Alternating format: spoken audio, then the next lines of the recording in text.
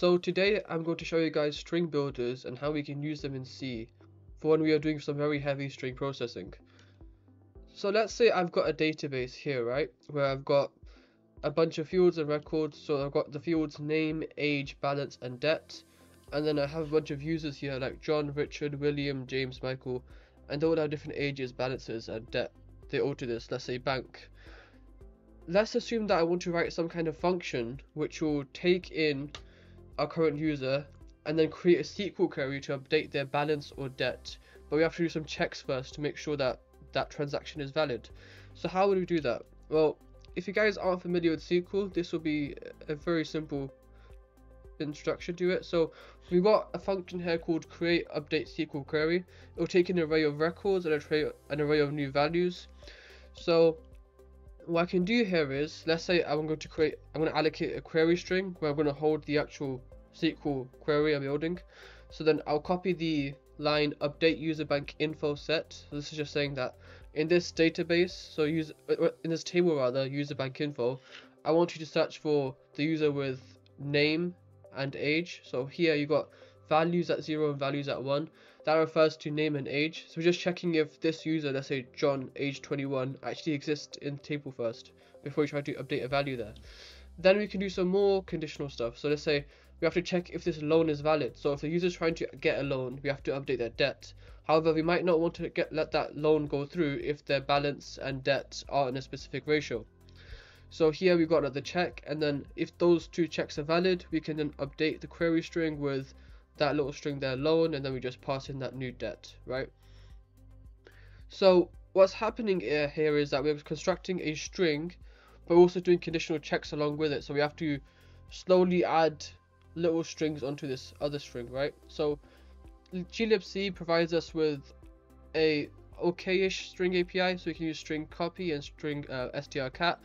But the problem is all these strings are null terminated, and when you're doing a lot of heavy string processing, it's very easy to mess it up, and then these null terminated strings can cause some unexpected behavior because you might have forgot to put it in somewhere, or you might have put it somewhere where you did not expect it to be.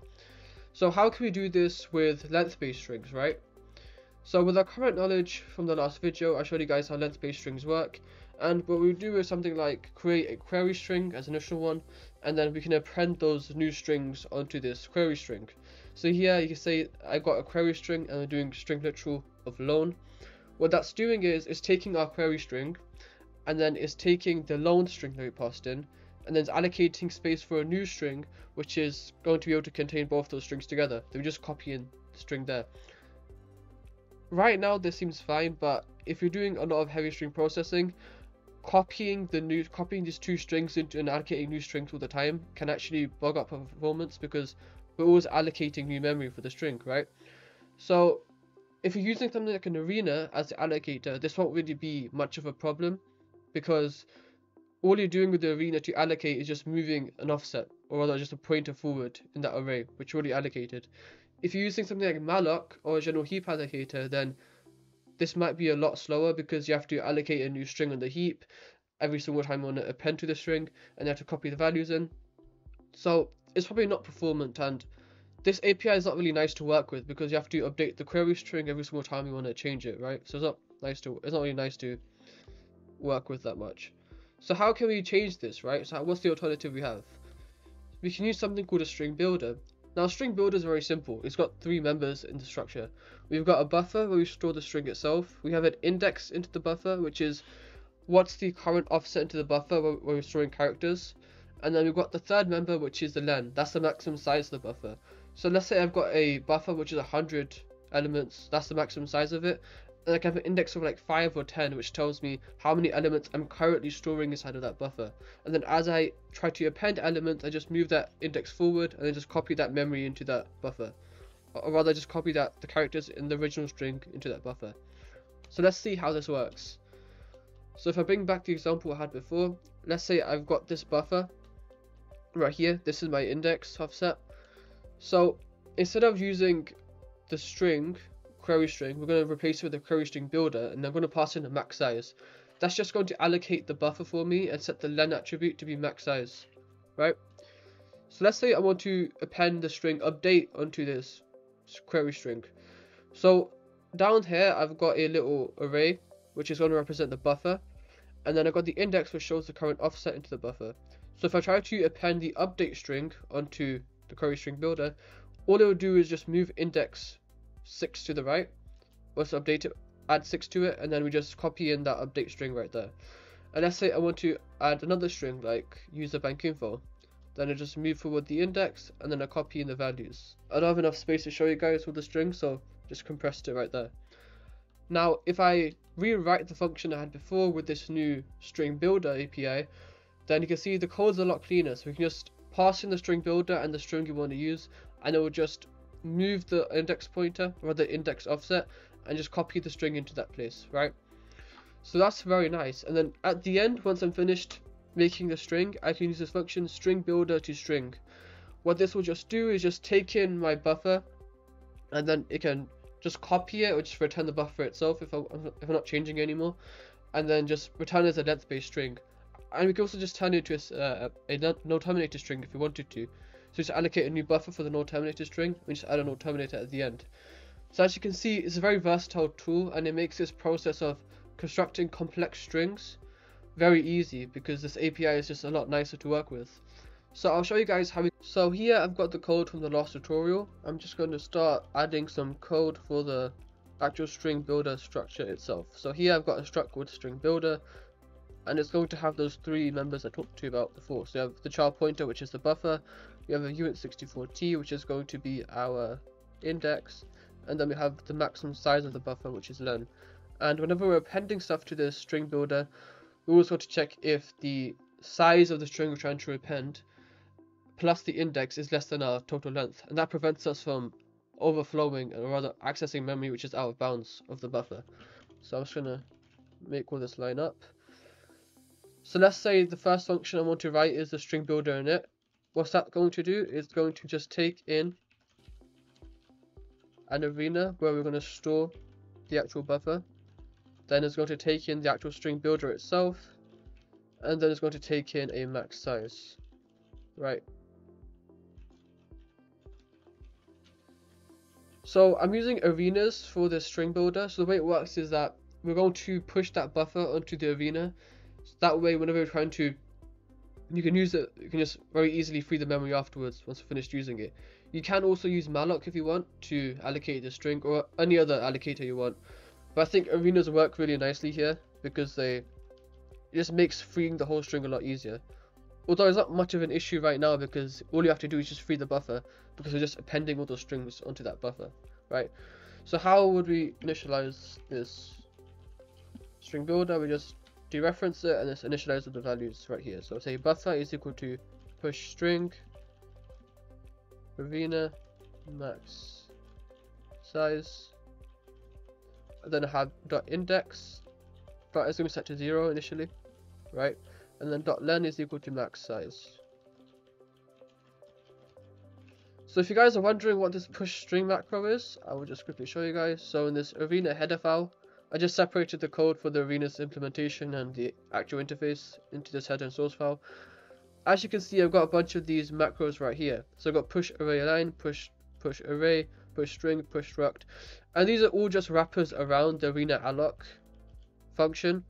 And this just kind of helps me mentally think about how I want to treat this allocation.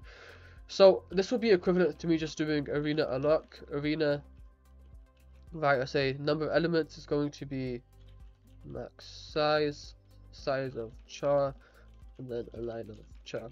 That macro does the exact same exact same thing as this little line here, but I just find it to be a little bit easier to work with. So the next thing I want to do is create a function to append to the arena. It's going to not to the arena, to the string builder rather. So it's going to return a boolean because either A, we successfully pushed that string onto the string builder, or B, we can't push it in because maybe the string is too large and it can't fit on the buffer, or maybe if we try to push it on, it'll be an overflow there. So we can just return a boolean in those cases, telling us if we succeeded or not. So I pass in a string builder, then the other string I want to append, right?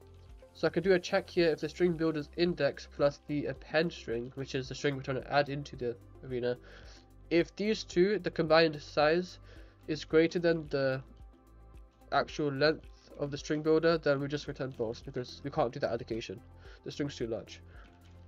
So we can then, if it is valid, we just then copy those characters from append string onto our string builder. So just do builder.buffer plus builder.index. That's the current offset we have, so we're going to start pushing from there. And we're copying from there. Then we do string builder.string and then append string.len. That's how many bytes we want to copy. So just copying this append string onto the end of the string builder. And then I just update the index by the amount we just pushed on. So there we go. That turned true, right? So let's say I just wanna try test this out. I'm just gonna remove all these strings here. Say string builder, string builder.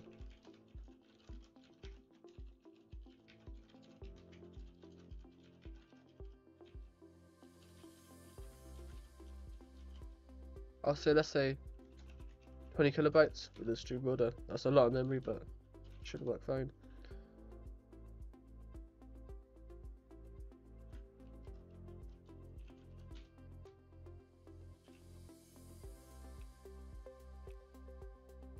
That's a bit weird.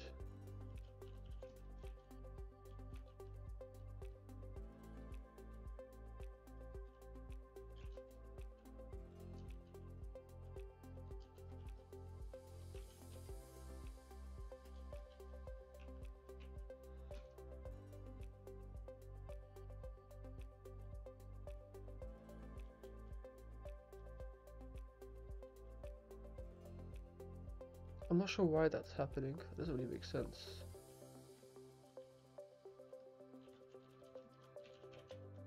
Oh, okay, I accidentally...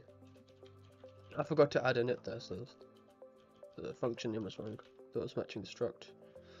So now if you run it, seems to work fine. So let's append a string onto the arena. I mean, append a string onto the string builder. So pass in the string builder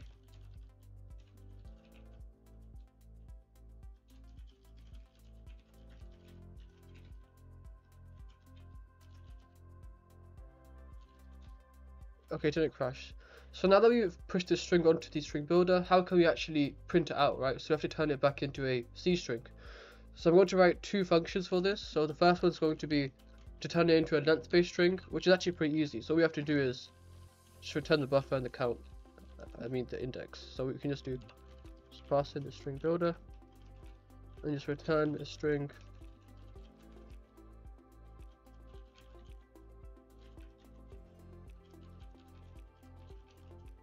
Right, because the index is the current element, or the current offset we are at, so the maximum size of the string so far.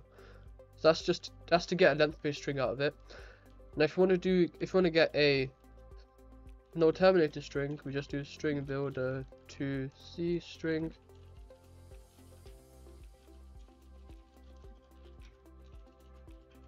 Pass in the string builder, then we just pass in arena as well, because you have to allocate a new string for it.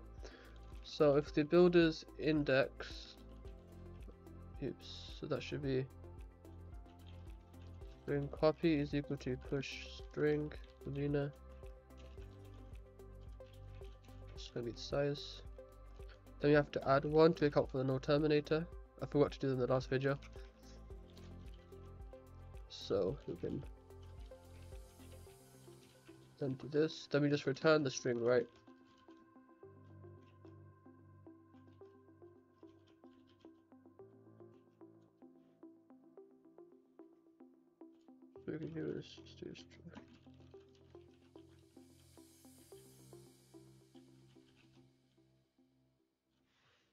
Think that should work fine. So then if I do a printf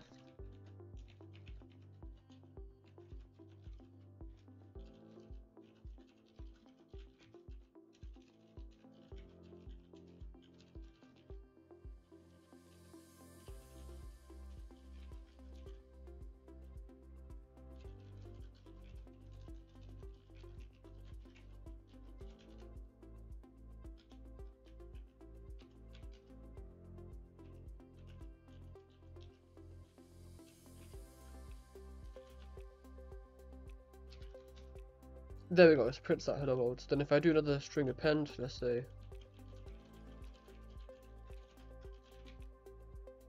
that should print out. There we go. So we're just appending stuff to the string and it's updating it as well. So I'm going to create another. So here I'm just gonna here I'm returning the actual buffer itself. But if I want to create another function just to create a copy on Arena, I can also do that. That'll just be pretty much the same as this. But I can remove that plus one because we have to account for the null terminator. Then I just do string copy and then builder dot index right? That's just going to allocate a new length-based string on the arena and then just return that. And this just returns the actual buffer itself as a length, as a length-based string. So I'm going to create one more function which is going to be called string builder remove. And all this will take is a string builder and then a uint64t which is the number of characters we want to remove from the string builder, right? So what I can do here is let's say I have to first check if the the length, the amount of characters I want to remove is actually valid. So if my current index is 5 and I try to remove 20 elements, then I can't actually do that. That's invalid, right? So in that case, I just return false. Otherwise, I would just, all I have to do is actually just move the index backwards because I don't actually have to memset anything to 0 or do anything like that because if I just move the index to 0, whenever I try to print out the C string or access the actual string, it's just going to stop at that length. So we can just, it's very simple, we just have to move the index backwards, just to remove elements. That's also really fast. So if I do something like, currently that's going to be hello world, another string. If I do string builder remove, let's say 10 characters, well, let's, actually let's do 5 instead, just to see.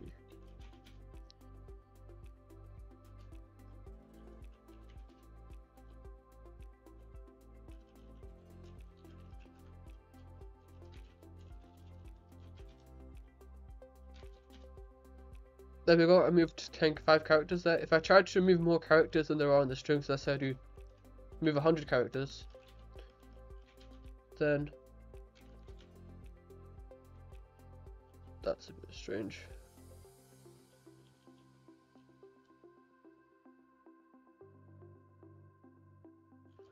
Oh, okay. So what seems to be happening is we've got an overflow right here because we're trying to remove, trying to minus these two uint64s. So we can do here is let's say int 64t remaining size is builder index minus remove len right. And then I just comment that this out quickly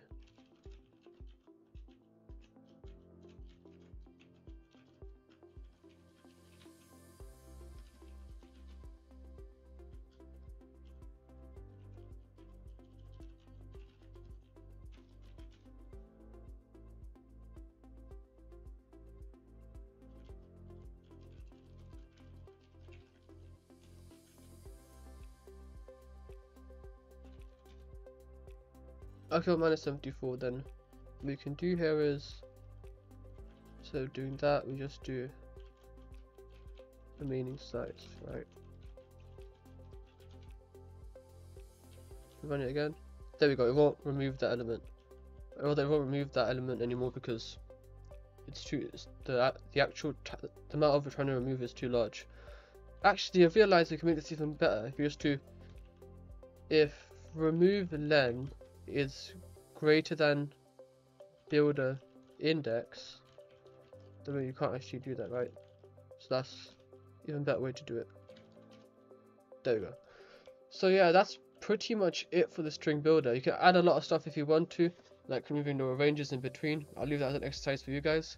But as you can see, it's really simple and it's, it's, very, it's quite useful as well, especially when trying to construct very complex strings, because it just simplifies the whole process down and it's also very fast because we've pre-allocated the buffer where we're going to store the string and we're just moving the offset back and forth to be able to add or remove elements from it. So I hope you guys enjoyed the video. I made some videos before about length-based strings and arenas. So if some of the terminology I'm using here like an arena allocator and a length-based string they aren't making sense to you, I'd highly recommend that you watch those, those videos first or after this one.